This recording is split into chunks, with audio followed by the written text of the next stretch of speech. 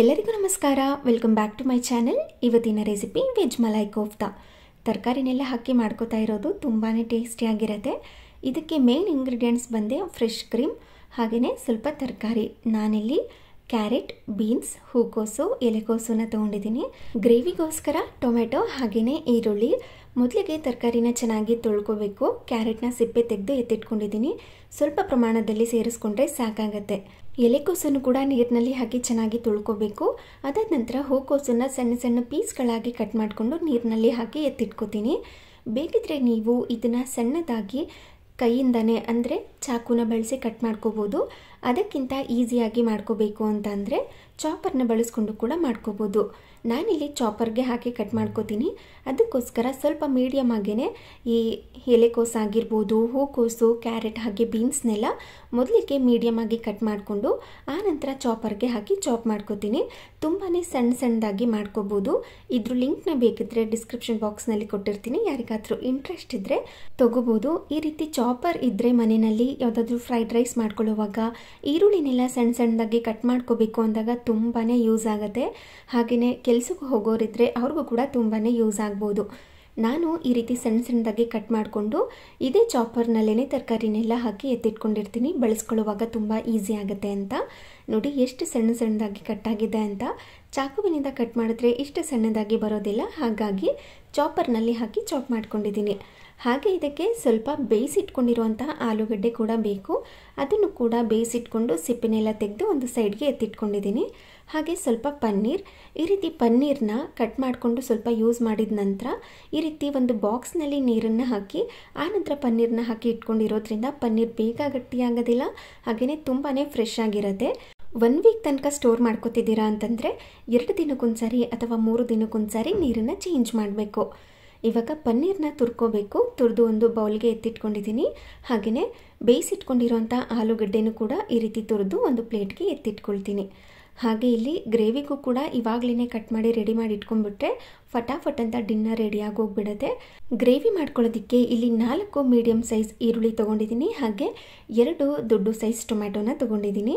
ಈರುಳ್ಳಿನ ಸಿಪ್ಪೆ ತೆಗೆದು ಈ ರೀತಿ ಸಣ್ಣದಾಗಿ ಉದ್ದುದ್ದಾಗೇ ಕಟ್ ಮಾಡ್ಕೋತೀನಿ. ಇದನ್ನು ರುಬ್ಕೊಳ್ಳೋದ್ರಿಂದ ಇದನ್ನು ಮೀಡಿಯಮ್ ಆಗಿ ಕಟ್ ಮಾಡಿಕೊಂಡ್ರೂ ಕೂಡ ನಡೆಯುತ್ತೆ. ಆದರೆ ನಾನಿಲ್ಲಿ ಸಣ್ಣ ಸಣ್ಣದಾಗಿ ಉದ್ದದ್ದಾಗಿ ಕಟ್ ಮಾಡ್ಕೋತೀನಿ.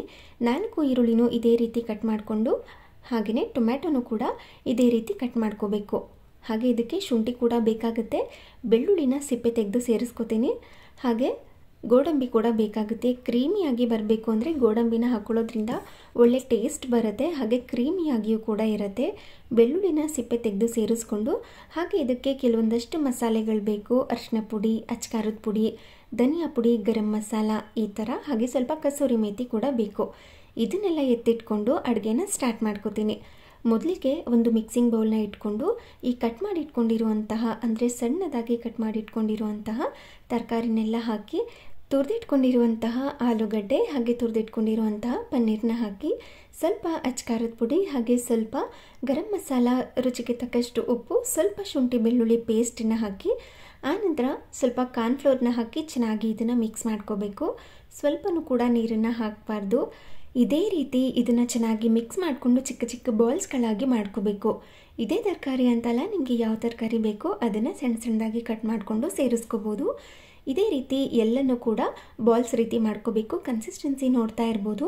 ಸ್ವಲ್ಪನೂ ಕೂಡ ನೀರನ್ನು ಹಾಕಿಲ್ಲ, ಚೆನ್ನಾಗಿ ಮಿಕ್ಸ್ ಮಾಡ್ಕೊಂಡಿದ್ದಾದಮೇಲೆ ಈ ರೀತಿ ಎಲ್ಲವೂ ಕೂಡ ಚೆನ್ನಾಗಿ ಹೊಂದ್ಕೊಳ್ಳುತ್ತೆ. ನೀರನ್ನು ಹಾಕ್ತೇನೆ, ಇದನ್ನೇ ಕಲಿಸ್ಕೊಂಡು ಬಾಲ್ಸ್ ರೀತಿ ಮಾಡಿ ಒಂದು ಪ್ಲೇಟ್ಗೆ ಎತ್ತಿಟ್ಕೊಂಡಿದ್ದೀನಿ. ಗ್ರೇವಿ ಮಾಡ್ಕೊಳ್ಳೋದಕ್ಕೆ ಒಂದು ಪ್ಯಾನ ಬಿಸಿ ಮಾಡಲಿಕ್ಕೆ ಇಟ್ಕೊಂಡು ಒಂದು ಸ್ಪೂನಷ್ಟು ಎಣ್ಣೆ ಅಥವಾ ಎರಡು ಸ್ಪೂನಷ್ಟು ಎಣ್ಣೆ, ಅದು ಕಾದ ನಂತರ ಕಟ್ ಮಾಡಿಟ್ಕೊಂಡಿರುವಂಥ ಈರುಳ್ಳಿ, ಶುಂಠಿ ಬೆಳ್ಳುಳ್ಳಿ, ಸ್ವಲ್ಪ ಟೊಮ್ಯಾಟೊ, ಹಾಗೆ ಚಕ್ಕೆ ಲವಂಗನ ಹಾಕಿ, ಗೋಡಂಬಿನ ಹಾಕಿ ಇದನ್ನು ಸ್ವಲ್ಪ ಹೊತ್ತು ಚೆನ್ನಾಗಿ ಫ್ರೈ ಮಾಡ್ಕೋಬೇಕು. ಫ್ರೈ ಮಾಡ್ಕೊಂಡಿದ್ದಾದಮೇಲೆ ಇದನ್ನು ಕಂಪ್ಲೀಟಾಗಿ ಕೂಲ್ ಆಗೋದಕ್ಕೆ ಬಿಡಬೇಕು. ಇದು ಕೂಲ್ ಆಗೋ ಅಷ್ಟರಲ್ಲಿ ನಾವು ಬಾಲ್ಸ್ನೆಲ್ಲ ರೆಡಿ ಮಾಡಿ ಇಟ್ಕೊಂಡಿದ್ವಿ ಅಲ್ವಾ?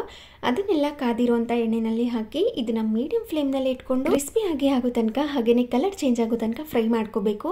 ಇದನ್ನು ಮೀಡಿಯಂ ಫ್ಲೇಮ್ನಲ್ಲಿ ಇಟ್ಕೊಂಡು ಫ್ರೈ ಮಾಡಿಕೊಂಡ್ರೆ ಮೇಲೆ ಕೂಡ ತುಂಬ ಚೆನ್ನಾಗಿ ಬೆಂದಿರುತ್ತೆ, ಹಾಗೆ ಒಳಗಡೆ ಕೂಡ ತುಂಬ ಚೆನ್ನಾಗಿ ಬೆಂದಿರುತ್ತೆ.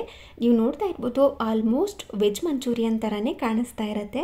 ನೋಡಿ, ಈ ರೀತಿ ಕ್ರಿಸ್ಪಿಯಾಗಿ ಆಗೋ ತನಕ ಫ್ರೈ ಮಾಡ್ಕೊಂಡಿದ್ದಾದಮೇಲೆ ಇದನ್ನೆಲ್ಲ ಒಂದು ಪ್ಲೇಟ್ಗೆ ಎತ್ತಿಟ್ಕೋಬೇಕು. ಈ ಬಾಲ್ಸ್ ಎಲ್ಲ ಫ್ರೈ ಮಾಡ್ಕೊಳ್ಳೋ ಅಷ್ಟರಲ್ಲಿ ಇದು ಕೂಡ ಕೂಲ್ ಆಗಿರುತ್ತೆ. ಇದನ್ನು ಒಂದು ಮಿಕ್ಸಿ ಜಾರ್ಗೆ ಹಾಕಿ ಹಾಕಿ ಸ್ವಲ್ಪನೂ ಕೂಡ ನೀರನ್ನು ಸೇರಿಸ್ತೇನೆ, ಇದನ್ನು ಸ್ಮೂತಾಗಿ ಪೇಸ್ಟ್ ಮಾಡ್ಕೋಬೇಕು. ನಂತರ ಒಂದು ಪ್ಯಾನೆ ಬಿಸಿ ಮಾಡಲಿಕ್ಕೆ ಇಟ್ಕೊಂಡು ಇದಕ್ಕೆ ಸ್ವಲ್ಪ ತುಪ್ಪ ಹಾಗೆ ಸ್ವಲ್ಪ ಎಣ್ಣೆನ ಹಾಕಿ ಇದು ಕರಗಿದ ನಂತರ ಸ್ವಲ್ಪ ಜೀರಿಗೆನ ಹಾಕಿ ಕಸೂರಿ ಮೇಥಿನೂ ಕೂಡ ಹಾಕಿ ಇದನ್ನು ಸಿಮ್ನಲ್ಲೇ ಇಟ್ಕೊಂಡು ಸ್ವಲ್ಪ ಅರಿಶಿನ ಪುಡಿ ಚಿಟಿಕೆಯಷ್ಟು ಹಾಗೆಯೇ ಅಚ್ಕಾರದ ಪುಡಿನ ಹಾಕಿ ಚೆನ್ನಾಗಿ ಮಿಕ್ಸ್ ಮಾಡ್ಕೋಬೇಕು. ಈ ರೀತಿ ಮಾಡ್ಕೊಳ್ಳೋದ್ರಿಂದ ಒಳ್ಳೆ ಕಲರ್ ಬರುತ್ತೆ ಗ್ರೇವಿಗೋಸ್ಕರ. ಅದಕ್ಕೆ ನೀವು ಸಿಮ್ನಲ್ಲಾದ್ರೂ ಇಟ್ಕೊಂಡು ಮಾಡ್ಕೋಬೋದು. ಇಲ್ಲ ಕಂಪ್ಲೀಟಾಗಿ ಫ್ಲೇಮ್ನ ಆಫ್ ಮಾಡಿಕೊಂಡು ಇದನ್ನು ಚೆನ್ನಾಗಿ ಮಿಕ್ಸ್ ಮಾಡಿ ನಂತರ ಮತ್ತೆ ಒಲೆನ ಹಚ್ಚಿ ಈ ರುಬ್ಬಿ ಇಟ್ಕೊಂಡಿರುವಂಥ ಮಸಾಲ ಪೇಸ್ಟನ್ನು ಹಾಕಿ ಚೆನ್ನಾಗಿ ಮಿಕ್ಸ್ ಮಾಡ್ಕೋಬೇಕು. ಇದನ್ನು ಕೂಡ ಸಿಮ್ನಲ್ಲಿ ಇಟ್ಕೊಂಡು ಚೆನ್ನಾಗಿ ಮಿಕ್ಸ್ ಮಾಡ್ಕೊಳ್ಳಿ. ನೋಡ್ತಾ ಇರ್ಬೋದು ಎಷ್ಟು ಒಳ್ಳೆ ಕಲರ್ ಬಂದಿದೆ ಅಂತ. ಬೇಕಿದ್ರೆ ಎಣ್ಣೆನಲ್ಲಿ ಫ್ರೈ ಮಾಡಿಕೊಂಡು ಟ್ರೈ ಮಾಡಿ. ಇಲ್ಲ ಹಾಗೆ ಅಚ್ಕಾರದ ಪುಡಿ, ಅರಿಶಿನ ಪುಡಿನ ಹಾಕಿ ಟ್ರೈ ಮಾಡಿ. ಎಣ್ಣೆನಲ್ಲಿ ಫ್ರೈ ಮಾಡ್ಕೊಳ್ಳೋದ್ರಿಂದ ಒಳ್ಳೆ ಕಲರ್ ಬರುತ್ತೆ ಅದಕ್ಕೋಸ್ಕರ. ಚೆನ್ನಾಗಿ ಎಲ್ಲನೂ ಕೂಡ ಹೊಂದಿಸ್ಕೊಂಡು ಇದನ್ನು ಕುದಿಸ್ಕೊಂಡಿದ್ದ ನಂತರ ಈ ಹಂತದಲ್ಲಿ ಇದಕ್ಕೆ ಸ್ವಲ್ಪ ಧನಿಯಾ ಪುಡಿ, ಗರಂ ಮಸಾಲ, ರುಚಿಗೆ ತಕ್ಕಷ್ಟು ಉಪ್ಪನ್ನು ಹಾಕಿ ಚೆನ್ನಾಗಿ ಮಿಕ್ಸ್ ಮಾಡ್ಕೊಂಡಿದ್ದೀನಿ. ಈ ರೀತಿ ಚೆನ್ನಾಗಿ ಹೊಂದಿಸ್ಕೊಂಡಿದ ನಂತರ ಮಿಕ್ಸಿ ಜಾರ್ಗೆ ಸ್ವಲ್ಪ ನೀರನ್ನು ಹಾಕಿ ಅದನ್ನು ಕೂಡ ಸೇರಿಸ್ಕೋಬೇಕು. ಗ್ರೇವಿ ಕನ್ಸಿಸ್ಟೆನ್ಸಿಗೆ ತಕ್ಕಂತೆ ನೀವು ನೀರನ್ನು ಹಾಕ್ಕೋಬೇಕಾಗತ್ತೆ. ತೀರಾ ಗಟ್ಟಿಯಾಗಿಯೂ ಕೂಡ ಇರಬಾರ್ದು, ತೀರಾ ತೆಳುವಾಗಿಯೂ ಕೂಡ ಇರಬಾರ್ದು. ಕ್ರೀಮಿ ಥರ ಇರಬೇಕು. ಅಲ್ಲಿ ತನಕ ಇದನ್ನ ಇದೇ ರೀತಿ ಚೆನ್ನಾಗಿ ಮಿಕ್ಸ್ ಮಾಡಿಕೊಂಡು ಕುದಿಸ್ಕೋಬೇಕು. ನಂತರ ಇದಕ್ಕೆ ಒಂದು ಲಿಡ್ಡನ್ನು ಕ್ಲೋಸ್ ಮಾಡಿ ನಾಲ್ಕರಿಂದ ಐದು ನಿಮಿಷ ಇದನ್ನು ಸಿಮ್ನಲ್ಲಿ ಇಟ್ಕೊಂಡು ಕುದಿಸ್ಕೊಂಡ್ರೆ ಮೇಲ್ಗಡೆ ಎಣ್ಣೆ ಬಿಟ್ಕೊಂಡು ಬರ್ತಾ ಇರುತ್ತೆ. ಇವಾಗ ಗ್ರೇವಿ ರೆಡಿ ಆಗಿದೆ ಅಂತ ಅರ್ಥ. ಇದಕ್ಕೆ ಅರ್ಧ ಕಪ್ನಷ್ಟು ಅಥವಾ ಮುಕ್ಕಾಲು ಕಪ್ನಷ್ಟು ಫ್ರೆಶ್ ಕ್ರೀಮ್ನ ಹಾಕಿ ಅರ್ಧ ಸ್ಪೂನಷ್ಟು ಜೇನುತುಪ್ಪನ ಸೇರಿಸ್ಕೊಂಡು ಸ್ವಲ್ಪ ಮೇಲೆ ಕಸೂರಿ ಮೇಥಿನ ಹಾಕಿ ಚೆನ್ನಾಗಿ ಮಿಕ್ಸ್ ಮಾಡಿಕೊಂಡ್ರೆ ಪರ್ಫೆಕ್ಟ್ ಆಗಿರುವಂಥ ಕ್ರೀಮಿ ಆಗಿರುವಂಥ ಗ್ರೇವಿ ರೆಡಿಯಾಗಿರುತ್ತೆ ವೆಜ್ ಮಲೈ ಕೋಫ್ತಾ ಆಗಿರೋದ್ರಿಂದ ಇದಕ್ಕೆ ನೀವು ಫ್ರೆಶ್ ಕ್ರೀಮ್ ಹಾಕ್ಕೊಳ್ಳೇಬೇಕು. ಫ್ರೆಶ್ ಕ್ರೀಮ್ ಇಲ್ಲ ಅಂತ ಅಂದ್ರೂ ಮನೆಯಲ್ಲಿ ಹಾಲಿನ ಕೆನೆ ಇರುತ್ತಲ್ವ? ಅದನ್ನೆಲ್ಲ ಎತ್ತಿಟ್ಕೊಂಡಿರ್ತೀರಲ್ವ? ಅದನ್ನು ಕೂಡ ನೀಟಾಗಿ ಒಂದು ಕೂಡ ಗಂಟಿಲ್ದಂಗೆ ಕ್ರೀಮ್ ಥರ ಮಾಡಿಕೊಂಡು ಕೂಡ ಸೇರಿಸ್ಕೋಬೋದು. ಕಂಪ್ಲೀಟಾಗಿ ಗ್ರೇವಿ ರೆಡಿಯಾಗಿರುತ್ತೆ. ಇದಕ್ಕೆ ಕಾಂಬಿನೇಷನ್ ಆಗಿ ನೀವು ಬಟರ್ ನಾನ್ ಅಥವಾ ರೋಟಿ ಇಲ್ಲ ಕುಲ್ಚಾ ಈ ಥರ ಮಾಡ್ಕೋಬೋದು. ನಾನಿಲ್ಲಿ ಚಪಾತಿನ ಮಾಡ್ಕೋತಾ ಇದ್ದೀನಿ. ಸಿಂಪಲ್ ಆಗಿರಲಿ ಅಂತ. ಚಪಾತಿನ ಲಟ್ಟಿಸ್ಕೊಂಡಿದ್ದಾದಮೇಲೆ ಇದ್ರ ಮೇಲೆ ತುಪ್ಪನಾದ್ರೂ ಹಾಕಿ ಬೇಯಿಸ್ಕೊಳ್ಳಿ, ಇಲ್ಲ ಬೆಣ್ಣೆನಾದ್ರೂ ಹಾಕಿ ಬೇಯಿಸ್ಕೊಳ್ಳಿ. ಎಣ್ಣೆ ಹಾಕೋದಕ್ಕಿಂತ ತುಪ್ಪ, ಬೆಣ್ಣೆ ಹಾಕ್ಕೊಂಡ್ರೆ ಒಳ್ಳೆ ಟೇಸ್ಟ್ ಬರುತ್ತೆ. ಅದಕ್ಕೋಸ್ಕರ ಎರಡು ಸೈಡೂ ಹಾಕಿ ಚೆನ್ನಾಗಿ ಬೇಯಿಸ್ಕೊಂಡ್ರೆ ಚಪಾತಿ ಕೂಡ ರೆಡಿಯಾಗಿರುತ್ತೆ ಏನಾದ್ರೂ ಸ್ಪೆಷಲಾಗಿ ಮಾಡಬೇಕು ಅಂದಾಗ ಈ ವೆಜ್ ಮಲೈ ಕೋಫ್ತನ ಒಂದ್ಸಾರಿ ಟ್ರೈ ಮಾಡಿ. ಇದಕ್ಕೆ ಚಪಾತಿಗಿಂತ ರೋಟಿ ಬಟರ್ ನಾನ್ ಮಾಡಿಕೊಂಡ್ರೆ ತುಂಬಾ ಚೆನ್ನಾಗಿರುತ್ತೆ. ಕುಲ್ಚಾ ಜೊತೆ ಕೂಡ ತುಂಬಾ ಚೆನ್ನಾಗಿರುತ್ತೆ. ಇವಾಗ ಎಲ್ಲ ಚಪಾತಿನೂ ಕೂಡ ಲಟ್ಟಿಸ್ಕೊಂಡಿದ್ದಾಗಿದೆ. ಇವಾಗ ಸರ್ವ್ ಮಾಡ್ಕೊಳ್ಳೋಣ. ಒಂದು ಬೌಲ್ಗೆ ಅಥವಾ ಯಾವುದಾದ್ರೂ ಒಂದು ಪ್ಲೇಟ್ಗೆ ನಾವು ಫ್ರೈ ಮಾಡಿ ಇಟ್ಕೊಂಡಿರುವಂಥ ವೆಜ್ ಕೋಫ್ತಾ ಇತ್ತಲ್ವ? ಅದನ್ನು ಈ ರೀತಿ ಹಾಕಿ ಅದ್ರ ಮೇಲೆ ರೆಡಿ ಮಾಡಿ ಇಟ್ಕೊಂಡಿರುವಂತಹ ಈ ಗ್ರೇವಿನ ಹಾಕಿ ನಂತರ ಇದ್ರ ಮೇಲೆ ಸ್ವಲ್ಪ ಫ್ರೆಶ್ ಕ್ರೀಮ್ನ ಹಾಕಿ ಸಣ್ಣದಾಗಿ ಕಟ್ ಮಾಡಿಟ್ಕೊಂಡಿರುವಂಥ ಕೊತ್ತಂಬರಿ ಸೊಪ್ಪನ್ನ ಮೇಲೆ ಸ್ಪ್ರಿಂಕಲ್ ಮಾಡಿಕೊಂಡ್ರೆ ಹೋಟೆಲ್ ಸ್ಟೈಲ್ನಲ್ಲಿ ಅಂದರೆ ರೆಸ್ಟೋರೆಂಟ್ ಸ್ಟೈಲ್ನಲ್ಲಿ ಮನೆಯಲ್ಲೇ ವೆಜ್ ಮಲೈ ಕೋಫ್ತಾ ರೆಡಿಯಾಗಿರುತ್ತೆ ಈ ರೀತಿ ಒಮ್ಮೆ ನೀವು ಕೂಡ ಟ್ರೈ ಮಾಡಿ ಹಾಗೆ ಹೇಗೆ ಬಂತು ಅಂತ ನನಗೆ ಕಮೆಂಟ್ ಮಾಡಿ ತಿಳಿಸಿ. ಇವತ್ತಿನ ರೆಸಿಪಿ ನಿಮಗೆ ಇಷ್ಟ ಆಗಿದೆ ಅಂತ ಅನ್ಕೊತೀನಿ.